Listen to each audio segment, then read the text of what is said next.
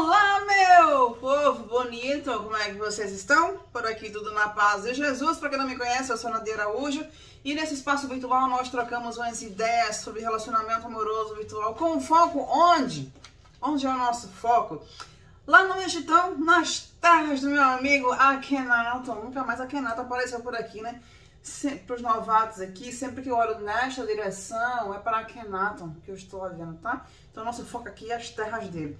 Mas nós também trocamos ideias sobre diversas áreas da vida, experiências, tá? Como eu sempre digo aqui, uh, o nosso foco, o nosso objetivo é alertar ou incentivar as pessoas para que possamos ter uma vida da melhor forma possível. E se tu aí tem alguma história para contar, manda para cá. Vamos compartilhar as nossas experiências. Não se preocupe que sua identidade será totalmente preservada, ninguém vai saber que você é você. Bom, meu povo, nós hoje temos notícia, tá? Foi uma indicação de Jeane Oliveira Dávila. Muitíssimo obrigado, Jeane. E minha gente, quando eu vi essa notícia aqui que Jeane mandou, eu falei, Senhor, a humanidade não anda bem não.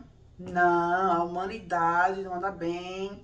O negócio aí tá desconfigurado. Precisamos fazer umas atualizações porque o negócio tá ficando feio. Tá feio. Sente só a manchete da notícia. Indiana diz ter recebido pedido de casamento do príncipe Harry e vai à justiça exigindo a sua prisão. Aí eu pensei assim, não, minha gente, isso aqui, isso aqui só pode ser uma pegadinha. Isso aqui é não, pelo amor de Deus, alguém me fala que isso aqui é uma pegadinha. Aí eu chequei o link que Jeane mandou, chequei outros links e não, não é pegadinha não. Isso aconteceu, tá? Isso aconteceu. A notícia fala o seguinte: uma indiana furiosa pediu a prisão do príncipe Harry, ninguém mais, ninguém menos que o príncipe Harry, após o impostor se passar por ele e a pedir em casamento.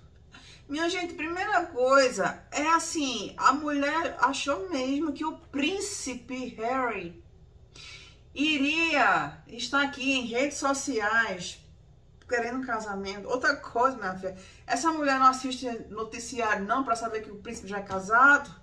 Hã? E outra coisa, ainda que ele fosse solteiro, minha gente, em sã consciência, com o juiz no lugar, com as configurações atualizadas, é óbvio que um príncipe não vai estar em redes sociais é, procurando casamento, minha gente. Porque um príncipe, ele tem muito mais o que fazer no mundo real, tá? Ele tem acesso a todas as mulheres que ele quiser. Ele pode pegar um menu e escolher a mulher que ele quiser para ele casar. E eu tenho certeza que um príncipe em plenas faculdades mentais assim, organizadas, hein? atualizadas, sabe? Ele não vai estar tá aqui procurando casamento. É, é. Aqui, com, com meros mortais, não vai, minha gente, não vai, não. A mulher, identificada como, como é que eu falo isso aqui? Paul Winder Kau, não sei como é que fala, tá? Afirmou que o relacionamento floresceu na internet com um homem que afirmava ser o duque, que então pediu para se casar com ela. Paul Winder, que parece ter sido levado a acreditar que estava realmente falando com o príncipe Harry, entrou em uma ação para que ele pudesse ser forçado a cumprir sua promessa de casamento e mais, sem demora. Tô dizendo que essa humanidade não, não, não anda bem? Não, minha gente, para rua está tudo folgado. Ela também solicitou que as autoridades indianas emitissem um mandado de prisão internacional para que Harry, casado com a americana Meghan Markle, possa ser detido. Oh, minha filha, quem és tu na fila do pão doce? Para tu dizer assim, ó, dá licença. Ó, oh, seguinte, autoridades indianas, eu quero, eu quero, ó, emitam um, um mandado internacional de prisão, tá? Prendam o príncipe, minha filha, você, tá, você, tá, você perdeu o juízo? Você tomou café estragado? Esta petição, é um trecho lá da petição dela. Esta petição é para iniciar uma ação judicial contra o príncipe Harry Middleton, filho do príncipe Charles Middleton, residente no Reino Unido. Diz o documento, sem notar que Harry atualmente mora nos Estados Unidos. E para instruir a polícia do Reino Unido a agir contra ele, pois apesar da promessa de casamento com a peticionária, a referida promessa não foi cumprida, acrescentou. O tribunal que recebeu a ação rejeitou o processo, é óbvio que ia rejeitar, né? Alegando que a querelante não provara estar falando com o verdadeiro Harry. Ele não precisa provar, minha gente, porque é óbvio, isso aqui, isso aqui é óbvio, que não, não era o príncipe. Isso aqui é assim, é óbvio, né? Mas o corte, a corte foi solidária com a indiana, apontando que existem muitos perfis falsos nas redes sociais, que não podem ser considerados prova de que conversas com pessoas reais aconteceram. Este tribunal pode apenas demonstrar simpatia por ela, que acreditava que a conversa falsa fosse verdadeira. Finaliza a decisão. E a reportagem acaba com uma frase legal. O amor é cego, e neste caso foi um passo adiante. Eu fico pensando na galera lá do, do, do tribunal, quando recebeu esse, né, esse negócio aí dela, deve ter olhado assim pro documento e ter dito, não, minha filha, corda pra cuspir, minha filha, tá o quê? Tu tá querendo que a gente emita um, um, um mandado de prisão internacional pro príncipe, minha filha? Você, você fez o quê? Bebeu, bebeu Coca-Cola estragada? Bateu a cabeça na parede? Caiu da cama? Você perdeu o juízo? Não, não, minha filha.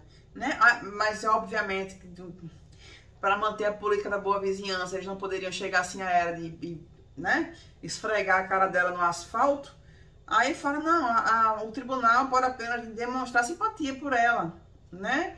E, e, tipo assim, ainda dizer assim, né? Usar de solidariedade, falou, filha, vem cá, é o seguinte, é, tem muitos perfis falsos nas redes sociais, então não dá pra tu considerar esse pedido de casamento, porque há uma probabilidade muito grande, tipo assim, 100%, tipo assim, certeza absoluta, sendo bem redundante, de que não é o príncipe Harry. O príncipe Harry não sabe nem que um dia tu existiu, né? Então, a gente tem uma solidariedade, um coraçãozinho por ti, mas filha, vai acordar para cuspir, tá? Porque minha gente, na moral, esse mundo não anda bem não, tá tudo muito louco, tá tudo doido, sabe? É o, o príncipe de Dubai. Quantas mulheres estão aí jurando que estão namorando o príncipe de Dubai? Minha gente, dia desse, ano retrasado isso, eu recebi uma mensagem de um filho à beira da loucura. E o filho falou, por, por favor, tu tem como me ajudar? Já fiquei assim, né? Então, é, o que, que foi que aconteceu? Não, porque minha mãe tá entrando em contato com, com um cara aí que se diz ser o príncipe de Dubai. E esse príncipe de Dubai disse que minha mãe tinha que depositar uma, uma quantia lá. Eu não quis nem perguntar quanto que era a quantia para minha pressão não subir. É, tinha que, ela tinha que depositar uma quantia lá, porque depositando esta quantia, ela iria receber um cartão real. Cartão real, minha gente. E com este cartão, ela estaria fazendo parte da realeza lá do príncipe de Dubai. E aí o filho queria que eu entrasse em contato com a mãe para tentar convencê-la de que isso não existia, que ela não depositasse dinheiro, que tal, que tal, que tal. Minha gente, sinceramente, eu disse, não, vem cá, eu, eu não posso fazer muita coisa não. E outra, viu? Ela assistia aqui o canal. Eu falei, filha, eu não, posso fazer nada, essa mulher não vai me ouvir. Não adianta. Vocês têm que ficar de olho nela e monitorá-la, mas não adianta, ela não vai me ouvir. A mulher diz que assiste meu canal, ainda assim, ela está acreditando que o príncipe de Dubai parou aqui na frente da internet, está entrando em contato com ela, não vai mandar um cartão para fazer parte da, da realeza. Não dá, minha gente. Uma outra lá entrou em contato comigo também, com essa mesma história de príncipe de Dubai. E eu falei pra ela, ó, oh, vem cá, não, não tem, minha filha, o príncipe de Dubai não está aqui na internet caçando casamento, não, não tá não. Ainda mais com simples mortais, como eu, como tu, não tá não. Não, mas ele tá sim, eu tenho certeza que é o príncipe. Tá, minha filha, mas baseado em quê? Que você tem tanta certeza que é o príncipe? Não, porque ele fez uma chamada de vídeo e eu vi que era o príncipe. Minha gente, pasme, dá um gole aí no Rivotril, ou na camomila. Eu, eu, ele fez uma chamada de vídeo pra mim e eu vi até uns leão, um, leão não, um tigre que ele cria lá na, na, na, casa dele. Minha filha, você já ouviu falar em chroma key? Em fundo verde? Já ouviu falar nisso? Coisa mais fácil do mundo. Eu pegar um, qualquer coisa verde, botar aqui por trás de mim. E na hora da edição do vídeo, eu apago tudo que for verde. E eu posso botar as cataratas do Iguaçu aqui, caindo aqui atrás de mim. Vocês vão sentir até meus cabelos molhados. Eu posso botar Michael Jackson, eu posso ressuscitar Michael Jackson com Bin Laden e botar os dois para fazer moonwalk aqui. E tu vai dizer, meu Deus, Michael Jackson ressuscitou. Tá lá no canal do Nadir. Posso botar ele aqui do lado, pendurado no meu pescoço. Não dá para acreditar em tudo que a gente vê aqui na internet, porque hoje em dia a tecnologia faz coisas que até você duvida. Tem um aplicativozinho aí que tu bota a tua foto e ele fica dançando, que, claro, tem alguns, alguns defeitos, mas se tu olha assim de relance, tu jura que é a pessoa. Tu jura. Um amigo meu fez isso com a minha foto e eu tô lá, linda, dançando, fazendo tanto negócio no pescoço assim. Digo, minha gente do céu, onde que a tecnologia chegou? E isso são aplicativos que estão ao alcance de pessoas normais, como eu e tu, que não sabem nem mexer em internet, em, em tecnologia.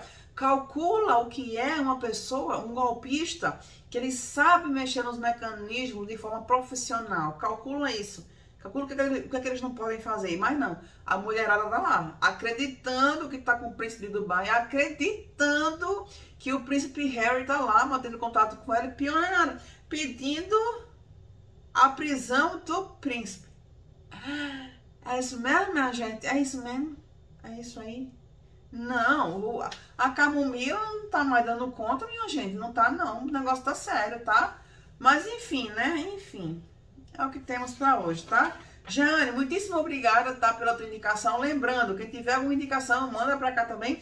E manda a tua história, minha gente. Vamos compartilhar as nossas histórias de vida, sejam elas com alguém do Egitão, sejam elas de relacionamento virtual ou não. Mandem para cá as suas histórias. Vamos uh, ajudar uns aos outros a viver a vida de forma mais sábia possível, ok? Agora vamos todo mundo para onde? Para os comentários, porque sim, eu adoro ler os comentários de vocês.